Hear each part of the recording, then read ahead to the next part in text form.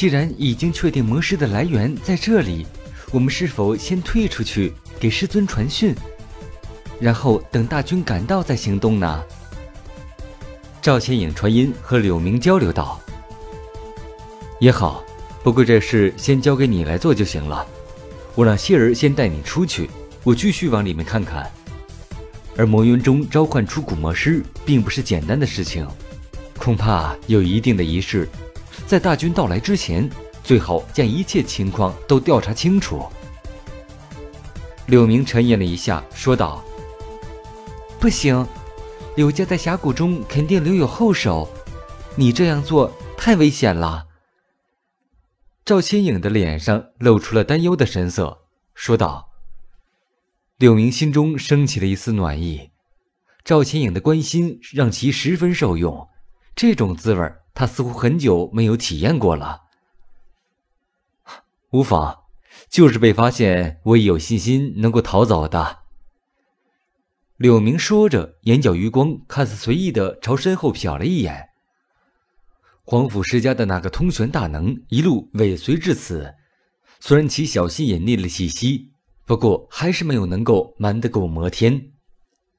眼前的情况虽然说步步危急，不过也是一个天大的好时机。柳明心中已经有了一个对付此人的主意。你既然执意如此，那我也不拦你。不过我也要跟着一起。赵千影神情一动，语气坚定的说道。柳明听闻此言，眉头一皱。他让赵千影出去，一方面是考虑到此女的安全，当然也存在着故意撇开她的意思。毕竟有此女跟着，很多地方都不太好下手，远不如自己一个人稳妥。你不用劝我了。我一定要跟着去。赵千影眼见柳明似乎要开口说些什么，抢先说道：“好吧，那你就跟在我身旁，但在危险之时，我会将你收入洞天法宝之内，你不要抵抗。”柳明想了想，叹了口气，说道：“赵千影毫不犹豫的点头答应了下来。”两人商量已毕。继续化为一团微不可察的影子，继续朝前方而去。之前看到了那个巨大魔师，似乎是看守峡谷入口的巡逻者，以车换图腾的神庙。柳明两人自然是轻易的避过了那头古魔师，继续朝着峡谷深处而去。又前进了一段距离，前方雾气当中，又是一个巨大身影浮现而出。赫然又是一头古魔狮，不过这一头魔狮体表曾出现淡青之色，看起来似乎是身上穿着一件淡青色铠甲一样。这青色魔狮动作颇为灵活，目光不时地朝着周围看去，瞳孔之中红光隐隐，一副戒备的模样。柳明目光一闪，带着赵千影绕了一个弯子。避重就轻地绕过了这头青色魔狮。接下来的路途越过峡谷的深处，遇到的古魔狮数量就越来越多了。一路行来，少说已经有三四十头之多了，而且其中也有不少感知敏锐的魔狮存在。甚至好几次被发现了两人的行踪，幸亏柳明机警，及时躲闪了过去。很快，两人渐渐的接近了峡谷深处，靠近了当初魔云入口出现的地方。到了这里，周围的白色雾气反而淡了下去。柳明一脸凝重之色，动作变得越发小心翼翼起来。有青色幽光绕过了一处山谷拐角后，眼前的景色突然变得开阔起来，来到了一处山谷的空地。柳明朝着前方看了一眼。脸色一变，青色幽光迅疾无比的往下一转，落在了一处巨岩的后面。前方的山谷空地正是当初魔渊之门出现之初的地方。不过此刻的空地之上，基本已经没有了白色雾气的存在，取而代之的是山谷之中有一座上下三层的黑色祭坛，祭坛上空赫然是一座灰蒙蒙的空间之门。和当初魔渊开启时颇为相似。空间之门内，一个青色边影凭空横亘于内，并徐徐地转动着。除此之外，祭坛前还有一个银发老者正在喃喃自语地说些什么。此人不是别人，正是柳家当代家主大硕军的实际掌控人柳回风。祭坛的四角则各自盘膝坐着一名柳家天象境强者。四人的身前各自悬浮着一件法宝，分别是一件洞箫、一架古琴、一个琵琶、一个魔环。法宝发出耀眼的光芒，和空间之门中的青色边影隐隐的有些呼应。柳回风口中念念有词，身上泛起数尺来长的黑色长芒，整个人似乎融入黑暗之内一样，看起来无比的诡异。此时的他身前放着一个深青色的鼎，看起来是一个药鼎，有一人多高，散发出淡淡的青色光芒。里面放了一些暗红色的块状物，散发出了一种古怪的气味，似乎是某种香料。青色药鼎之上冒出了一缕红色的青烟，飞入了上方的空间之门内。果然，柳明看了一眼，便立刻的移开了目光。潜伏在了巨石的后面。虽然他没有细看，不过柳回风现在明显是在施展某种仪式。依他来看，八成便是召唤古魔师的。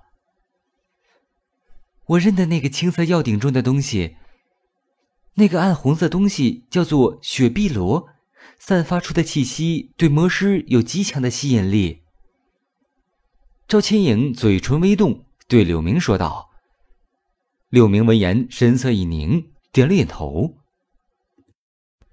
他目光微闪，翻手取出了一块白色玉符，正是皇甫玉魄给他的那个。随即挥手打出数道法诀，落在白色玉符之上。符箓顿时一闪之下，便化为了一道红光，便要飞入虚空之内。不过就在此刻，虚空之中突然泛起了一阵白光，将传讯符箓逼了出来。柳明和赵千影脸色一变，还未等他们做出反应，两人周围黑影一闪，十几头高大青色魔狮突然从周围浓密的白雾当中飞出，并将两人团团的围在了中间。不好！赵千影豁然站起身来，身上紫光大放，翻手祭出了紫色小鼎，便要动手。柳明目光一转，一把拉住了赵千影。周围的古魔师只是围住他们，并没有立刻发起攻击。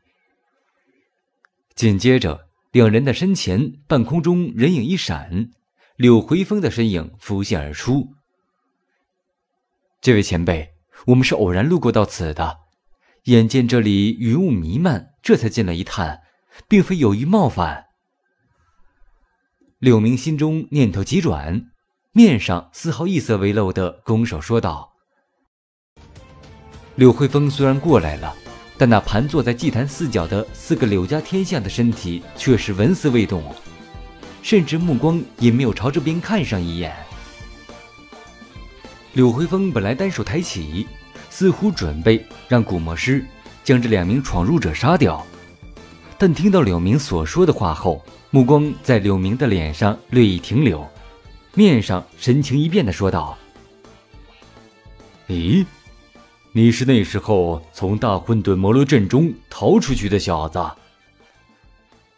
柳明闻言，神情一变，眉头皱了起来，随即他有意无意的踏前半步，将赵千影护在了身后。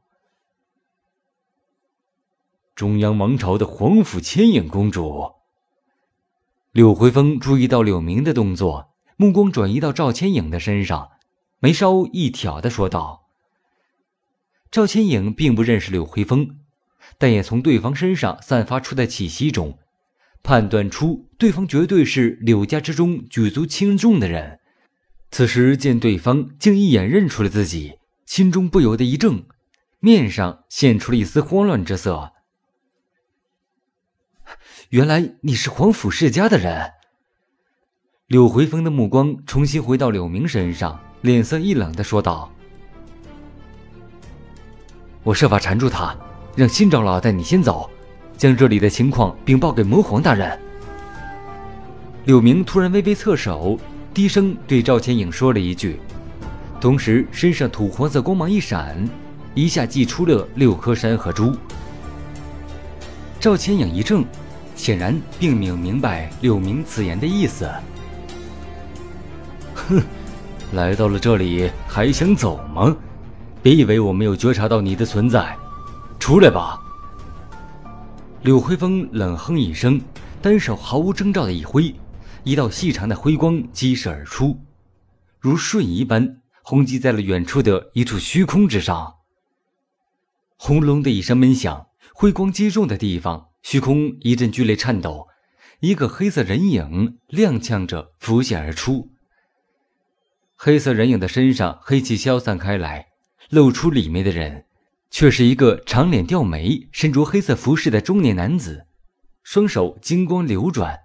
并没有露出丝毫惊慌的神色，只是看向柳明的目光中闪过了一丝异色。我道是谁呢？原来是黄甫新道友大驾光临，真是有失远迎了。柳辉峰脸色一动，冷冷的说道。赵千影转手看了柳明一眼，俏脸上露出了诧异的神色。那个吊眉中年男子，他自然是认识的。是族中一位常年闭关的通玄大能，平日里极少在人前出现，自己也不过只是见过寥寥数面而已。他诧异的是，柳明为何认识这个人？新长老，事到如今，只有分头行事了，务必要将这里的情况告知魔皇大人。柳明面上先闪过了一丝惋惜之色，随即大喝一声。六颗山河珠蓦然放出大片的土黄色光芒，包裹住了他和赵千影的身体，朝着峡谷之外飞去。吊眉中年男子闻言，眉头一皱，显然意识到了什么。就在此时，身前骤然出现了三头古魔狮，数只巨大的魔掌拍在了黄光之上，一股沛然巨力直接将柳明两人连同山河珠拍了回来。再次掉入了古魔师的包围圈子。柳辉峰看都没有看柳明两人一眼，只是死死地盯着不远处的吊眉中年人。显然，在其眼中有那些古魔师在，柳明两人根本不值一提。只有面前之人才可以称得上是对手。柳明两人尚未稳住身形，周围的十余头青色古魔师眼中红光大放。口中发出一声嘶吼，朝着柳明两人所在扑了过来。几乎是同时，柳回风也开始发动攻势，身形一晃的朝着黄甫新所在冲去。身处半空，手中蓝光一闪，击出了一柄蓝色的玉如意。随着其口中传出几句低沉的咒语声，蓝色玉如意表面蓝光大盛，散发出了一圈圈蓝色光晕。从中传出了一阵嗡鸣声，紧接着，一头蓝色猛虎在蓝色光晕中凝聚而出，并朝着吊眉男子所在扑去。蓝色猛虎在飞跃的过程中迎风暴涨，眨眼间化为了数十丈大小。随着一声虎啸，一股响彻天际的极寒气息从蓝色巨虎身上散发而出。